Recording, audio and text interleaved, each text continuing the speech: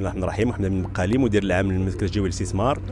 لنا الشرف اليوم استقبال شركة فيليون SA اللي هي فرع صندوق استثمار جلان إنفست آه، صندوق استثمار مغربي اللي استثمر اليوم في l'agropole ديال بني ملال 60 مليون للدرهم.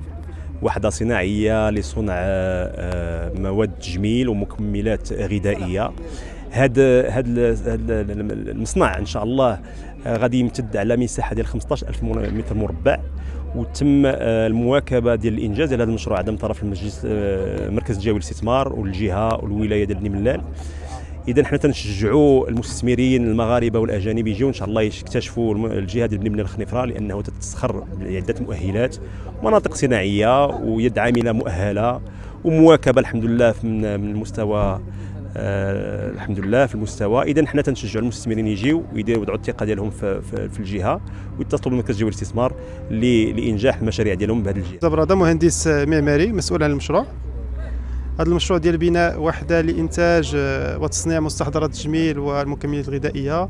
فهو مشروع مهم بالنسبة للمنطقة ديال لاغروبول ديال مدينة بني ملال وهو في التشييد ديالو قام باحترام جميع المعايير الدولية. وستعتبر أكبر وحدة في, إفريقيا من هذا النوع.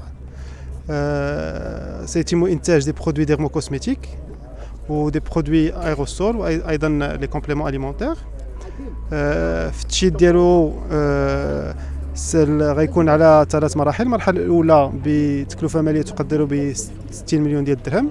وإن شاء الله غتكون opérationnelle في جويي 2022 وغتكون la tranche 2 و la tranche 3 يعني باش يكون l'usine opérationnelle كاملة من خلال سنتين تقريبا.